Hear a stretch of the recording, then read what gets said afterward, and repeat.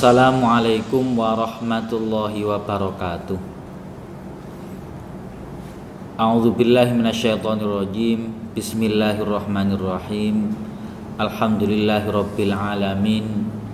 Wassalatu wassalamu ala asrafil anbiya'i wal mursalin sayyidina wa maulana Muhammadi wa ala alihi wa sahbihi ajmain amma ba'da. Hadirin hadirat para siswa-siswi SMK Krian 2 yang berbahagia dan yang dirahmati oleh Allah.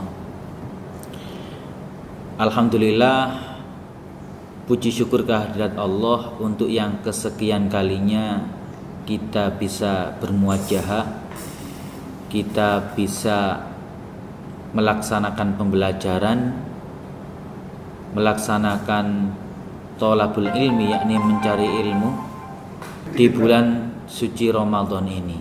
Dan jangan lupa terus jaga kesehatan tetap di rumah dengan memakan makanan yang bergizi dan halal serta laksanakan ibadah sholat dan puasa bulan Ramadan ini dengan penuh dengan hikmat dan ikhlas. Siswa-siswi SMK Krian 2 untuk episode kali ini yaitu pembelajaran Pondok Ramadan online SMK Krian 2 membahas tentang hal atau sesuatu yang makruh dilakukan saat ibadah puasa dan macam-macam puasa. Langsung saja hal-hal atau perkara yang makruh yang dilakukan saat berpuasa ada tiga hal. Silakan dibuka di dalam buku panduan Pondok Ramadan. Yang pertama berbekam. Berbekam ini terapi mengeluarkan darah dari tubuh tujuannya untuk kesehatan. Itu itu makruh. Makruh itu sesuatu yang dilakukan tidak mendapatkan apa-apa atau boleh ya. Apabila ditinggalkan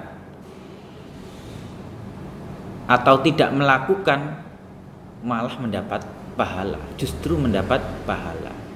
Jadi bekam ini apabila dilakukan pada waktu puasa maka seorang yang melakukan puasa itu hukumnya makruh. Terus selanjutnya nomor dua mencicipi makanan dengan lidah. Nah, ini juga dimakruhkan. Ini boleh dilakukan tapi makruh, lebih baik ditinggalkan. Nah, dalam catatan setelah dicicipi diludahkan dikeluarkan lagi itu maksudnya. Jadi tidak di ditelan tidak ditelan. Itu perkara makruh yang kedua. Perkara makruh yang ketiga yakni bersiwak atau sikat gigi.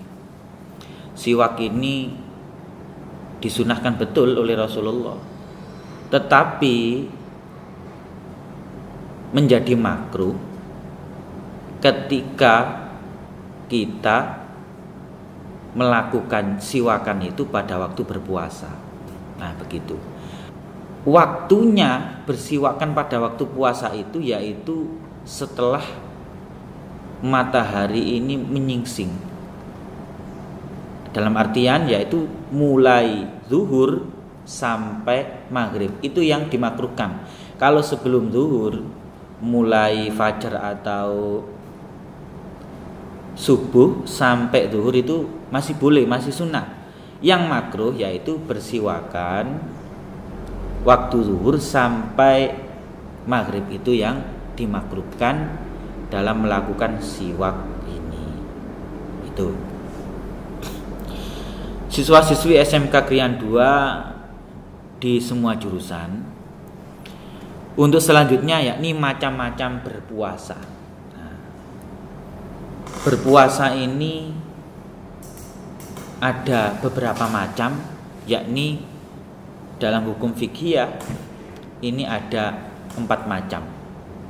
Yang pertama wajib nomor dua sunnah nomor tiga makruh yang nomor empat ini haram.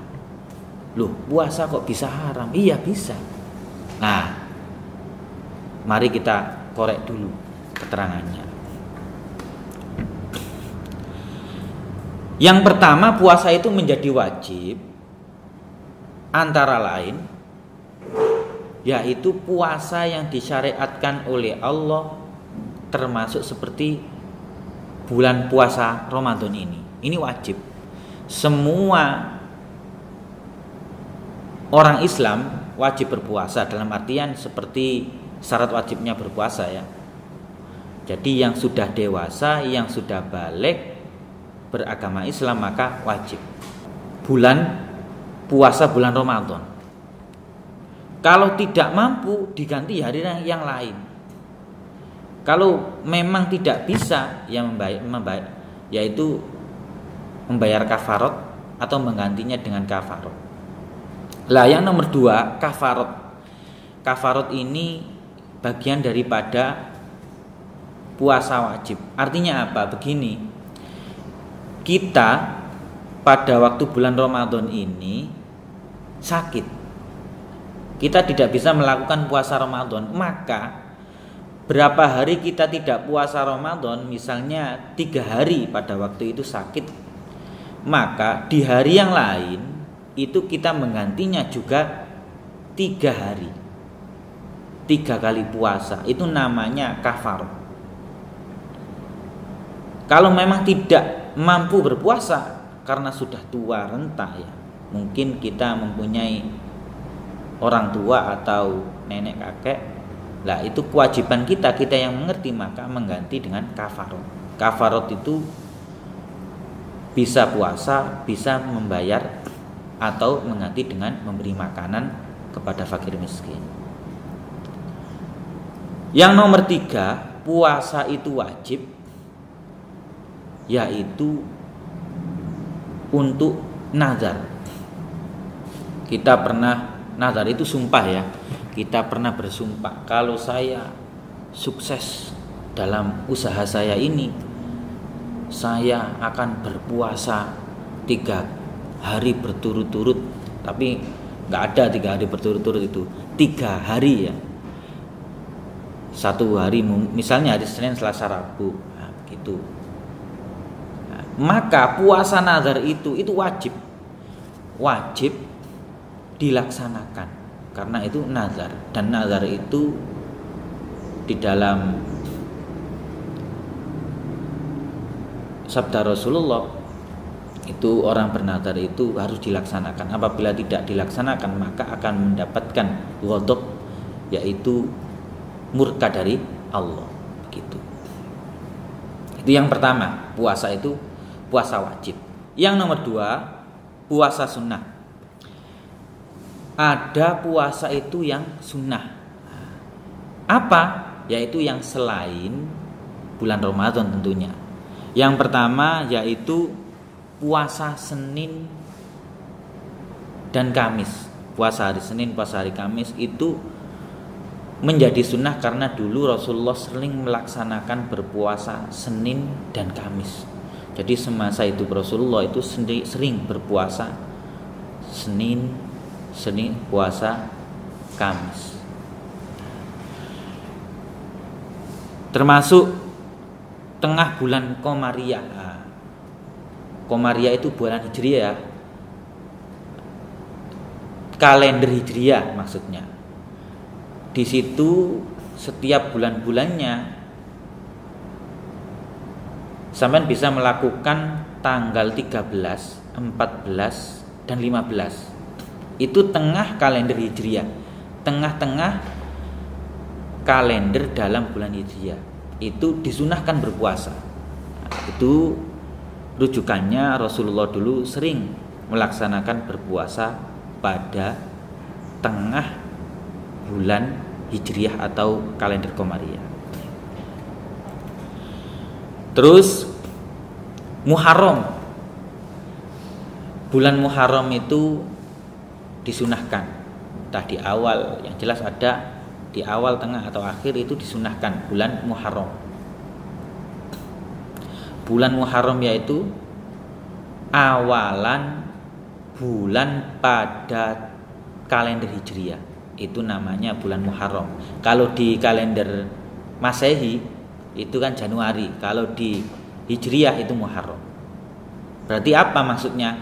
Puasa awal tahun. Nah, itu. Terus sunnah lagi yaitu puasa pada bulan Syawal, khususnya awal ya. Bulan Syawal itu kapan? Lah, setelah puasa Ramadan ini bulan Syawal. Nah, itu disunahkan. Bisa satu hari, dua hari, tiga hari, empat hari, lima hari, silakan. Pokoknya tidak pada waktu hari raya. Nah, itu. Terus puasa Arafah. Nah, puasa Arafah ini yaitu kita menghormati para ibadah para kaum muslimin muslimat yang melakukan ibadah haji pada waktu di Arafah. Karena semua umat muslim pada waktu itu berkumpul di Arafah. Nah, itu. Itu secara syariat kita seperti itu, tapi hakikatnya itu syariat dari Allah. Kita disunahkan melaksanakan puasa Arafah sebagaimana Rasulullah pada waktu di Arafah beliau berpuasa Arafah. Terus puasa Daud. Puasa Daud itu yaitu puasa yang selang-seling ya. Sekarang puasa, besok tidak. Sekarang puasa, besok tidak dan itu berjalan beberapa tahun boleh, silakan. Nah, itu itu puasa Daud. Ada bagian daripada umat muslim itu melakukan hal itu sudah sudah menjadi kebiasaan dan nyaman. Hati ini tenang, bahagia Bahkan kalau tidak puasa seperti itu dirinya gelisah. Ada umatnya seperti itu ada. Nah. Dan selanjutnya puasa itu menjadi makruh. Ini yang ketiga ya. Yang pertama puasa menjadi wajib, puasa sunnah. Yang pertama itu puasa wajib, puasa sunnah. Yang kedua, yang ketiga puasa makruh. Lah ini puasa kok menjadi makruh? Ada Nah, ini puasa ketika harinya hari Jumat dan Sabtu ini bagi umat Islam itu makruh. Berarti apa maksudnya? Silakan berpuasa selain hari Jumat dan Sabtu. Nah, apabila kita puasa pada hari Jumat atau Sabtu berarti nilai pahalanya itu tidak seperti puasa selain hari Jumat dan Sabtu. Senin bagus, Selasa bagus, Rabu bisa, Kamis malah sunahkan nah, seperti itu. Dan untuk yang terakhir ya ini puasa haram. Jadi kita melakukan puasa tapi malah mendapatkan dosa. Lah, puasa yang bagaimana ini? Nah, ini puasa yang dilakukan pada hari raya Idul Fitri itu tidak boleh. Jadi kita ini malah disuruh oleh Allah untuk menikmati kita kok berpuasa. Lah ini sama Allah malah tidak disukai bahkan haram puasanya. Jadi puasa hari raya Idul Fitri puasa hari raya Idul Adha. Ini tidak boleh. Meskipun sampean ahli atau kita ini ahli puasa ya. Jadi tetap tidak boleh pada waktu hari raya ini haram hukumnya. Kalau tetap puasa malah mendapat dosa. Nah begitu. Malah enak tidak berpuasa bisa makan tur mendapatkan pahala. Termasuk juga puasa ini haram yaitu pada hari tasyrik. Hari tasyrik itu yaitu tanggal 11 12 13 Zulhijjah. Kita puasa malah tidak direstui oleh Allah tidak direstui Tuhan. Nah ini hari tasyrik. Jadi ini diingat betul hari tasyrik itu jangan sampai kita melakukan puasa hari raya dua hari raya itu kalau yang wajib yaitu puasa Ramadan terus gantian karena Ramadan ini hari kemarin tidak puasa karena uzur apa dan yang ketiga ini nazar itu. Jangan sampai ini yang yang paling penting. Yang lainnya mungkin makruh masih bisa. Sunnah itu setelah kondisinya standar. Nah, gitu insya Allah itu yang saya sampaikan untuk materi Pondok Ramadan online SMK Krian 2 hari ini. Semoga apa yang saya sampaikan ini semoga bermanfaat untuk kita semua.